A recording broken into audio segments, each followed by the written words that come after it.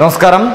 വൻകിട രാജ്യാന്തര കമ്പനികൾ ചൈന വിട്ട് ഇന്ത്യയെ തങ്ങളുടെ പ്രധാന ബിസിനസ് സംരംഭമാക്കാൻ ഒരുങ്ങുന്നു എന്നൊരു വാർത്തയാണ് ഇപ്പോൾ പുറത്തു വരുന്നത് പന്ത്രണ്ട് രാജ്യാന്തര കമ്പനികളാണ് ഇത്തരത്തിൽ ചൈന വിട്ട് ഇന്ത്യയിലേക്ക് വരുവാൻ ഇപ്പോൾ താല്പര്യം പ്രകടിപ്പിച്ചിരിക്കുന്നത്. കേന്ദ്രമന്ത്രി നിർമ്മല സീതാരാമനാണ് ഇത് അറിയിച്ചിരിക്കുന്നത്. കോർപ്പറേറ്റ് നികുതി പതിനഞ്ച് ശതമാനമായി കുറച്ചതിന് പിന്നാലെയാണ് കമ്പനികളുടെ ഈ തീരുമാനം എന്നാണ് ധനമന്ത്രി പറഞ്ഞിരിക്കുന്നത്. രാജ്യത്തിന്റെ സമ്പദ് വ്യവസ്ഥ താഴേക്ക് പോയ സാഹചര്യത്തിൽ സെപ്റ്റംബറിൽ കേന്ദ്ര സർക്കാർ കോർപ്പറേറ്റ് നികുതി പത്ത് ശതമാനമായി കുറച്ചിരുന്നു. കഴിഞ്ഞ ഇരുപത്തെട്ട് വർഷത്തിനിടയ്ക്ക് ആദ്യമായാണ് ഇത്രയധികം കുറവ് വരുത്തിയത്. നിലവിലുള്ള കമ്പനികൾക്കുള്ള നികുതി ഇരുപത്തിരണ്ടിൽ നിന്ന് മുപ്പത് ശതമാനവും. രണ്ടായിരത്തി പത്തൊമ്പത് ഒക്ടോബർ ഒന്നിന് ശേഷം രൂപീകരിക്കുന്ന കമ്പനികൾക്കും രണ്ടായിരത്തി ഇരുപത്തി മൂന്ന് മാർച്ച് ഒന്നിനുള്ളിൽ പ്രവർത്തനം ആരംഭിക്കുന്ന കമ്പനികൾക്കും ഇരുപത്തി അഞ്ചിൽ നിന്ന് പതിനഞ്ച് ശതമാനമായിട്ടാണ് കോർപ്പറേറ്റ് നികുതി കുറച്ചത്. ചൈനയിൽ നിന്ന് പുറത്തു കടക്കുവാൻ താല്പര്യമുള്ള കമ്പനികളെ ബന്ധപ്പെടുന്നതിനായി പ്രത്യേക സംഘത്തെ തന്നെ നിയോഗിക്കും.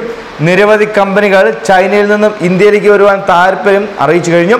ഇതിൽ പന്ത്രണ്ട് കമ്പനികളുമായി നടത്തിയ ചർച്ചയിൽ അവരുടെ പ്രവർത്തനങ്ങൾ സുഗമമാക്കുവാൻ ഇന്ത്യൻ സർക്കാരിൽ നിന്ന് എന്തൊക്കെ പ്രതീക്ഷിക്കാമെന്ന് അറിയാൻ കഴിഞ്ഞു. അതനുസരിച്ച് ഇന്ത്യയിലെ സാഹചര്യങ്ങൾ മാറ്റിയെടുക്കുമെന്നും ധനമന്ത്രി അറിയിച്ചിട്ടുണ്ട്. മുമ്പ് ഇന്ത്യയിൽ നിക്ഷേപങ്ങൾ നടത്തുവാനുള്ള സുവർണ അവസരമാണ് ഇപ്പോൾ ഉള്ളതെന്ന് പ്രധാനമന്ത്രി നരേന്ദ്രമോദി വ്യക്തമാക്കിയിരുന്നു. നിക്ഷേപങ്ങൾ നടത്തുവാൻ ആഗ്രഹിക്കുന്നുണ്ടെങ്കിൽ ഇന്ത്യയിലേക്ക് തന്നെ വരണം. സെപ്റ്റംബർ ഇരുപതിനാണ് കേന്ദ്ര സർക്കാർ കോർപ്പറേറ്റ് നികുതി വെട്ടിക്കുറച്ചത്. സാമ്പത്തിക ഉത്തേജന നടപടികളുടെ ഭാഗമായിട്ടായിരുന്നു അന്ന് ഇത് ചെയ്തത്. ഇന്ത്യൻ കമ്പനികളുടെയും പുതിയ നിർമ്മാണ കമ്പനികളുടെയും സാമ്പത്തിക മാന്ദ്യം മറികടക്കാനുള്ള ഏറ്റവും ധീരമായ പാക്കേജായി വ്യവസായ മേഖലയിൽ വലിയ തോതിൽ നിക്ഷേപത്തിനും തൊഴിലവസരത്തിനും കളമൊരുക്കിക്കൊണ്ടാണ് കോർപ്പറേറ്റ് നികുതിയിൽ വൻ ഇളവുകൾ ധനമന്ത്രി നിർമ്മല സീതാരാമൻ അന്ന് പ്രഖ്യാപിച്ചത്. ഇതിനുള്ള ഓർഡിനൻസും അന്ന് ഇറക്കിയുണ്ടായി.